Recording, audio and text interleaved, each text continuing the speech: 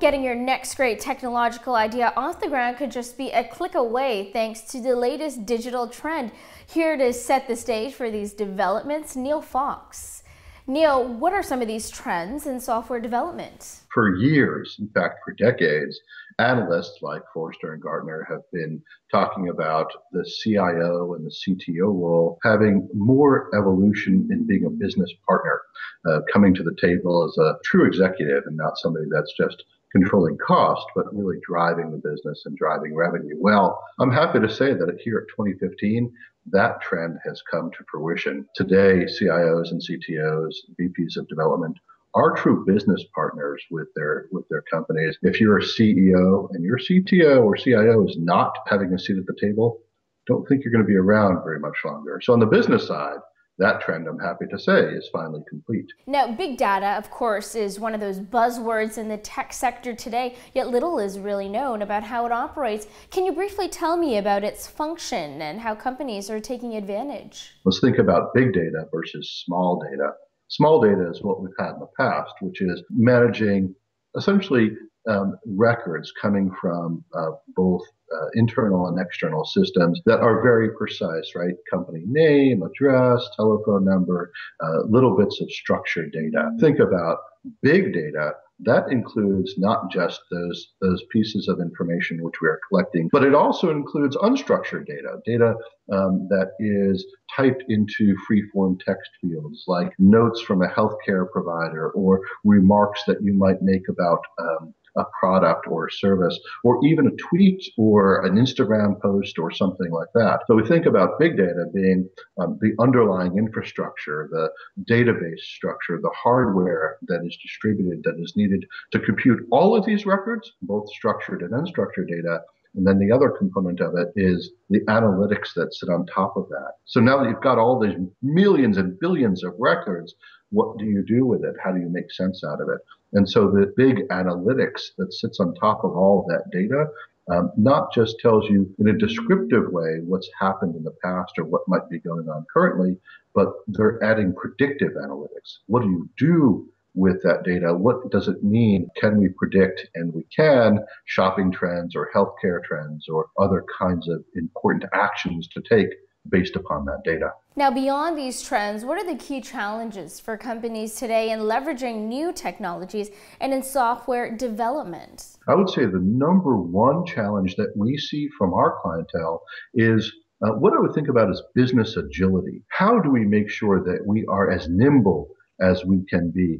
Uh, today, if you have a smartphone or even you're using web applications, those applications are being updated on a constant basis. So uh, agility is number one challenge and number one opportunity. If you're not um, conducting agile methodology, if you're not seeing your business look at, at their uh, audience and their feature set and the value that they're delivering in a very real time way, you might need some assistance. Number two is access to enough scalable resources. We had talked just a minute ago about big data.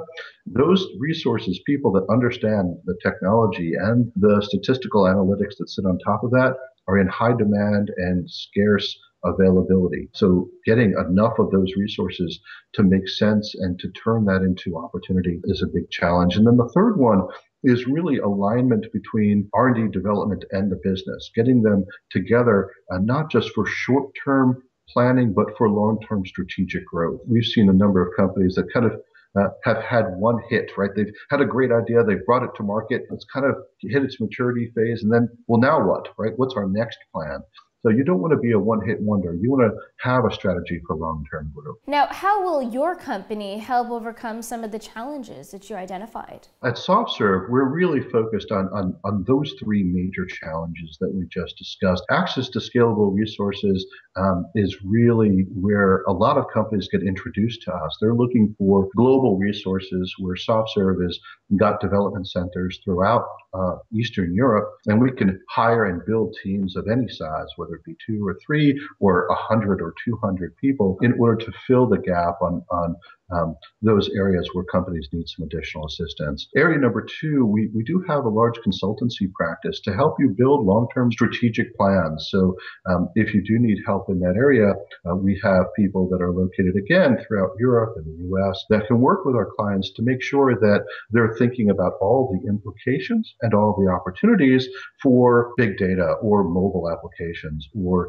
you know any other uh, technical platforms, maybe modernizing their existing applications into mobile or, or uh, cloud-based apps. We, we help with that too. But the most important element that we bring to the table is in this concept of agility uh, which is where most companies seem to have uh, the biggest challenges and struggle the most, not just in making the most efficiency out of their software development practices, but helping them align to the business and build a culture and a philosophy of kind of real time dynamic change and dynamic adoption. Now, finally, what's the one thing CEOs should be doing today to position their company for the new digital economy? If we think just a few years into the future, intelligent applications will be very much like the web applications of today. If you're not a company that has a strategy for managing your data, validating it, normalizing it, and analyzing your big data, then you're going to be behind the curve the way that companies relate to the table